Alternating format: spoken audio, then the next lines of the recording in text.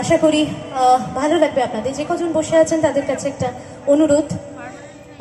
একটু যদি গানটার সুন্দর ছন্দের সাথে একটু আপনাদের তালের ছন্দটাও পাই, আরও বেশি জমে যাবে।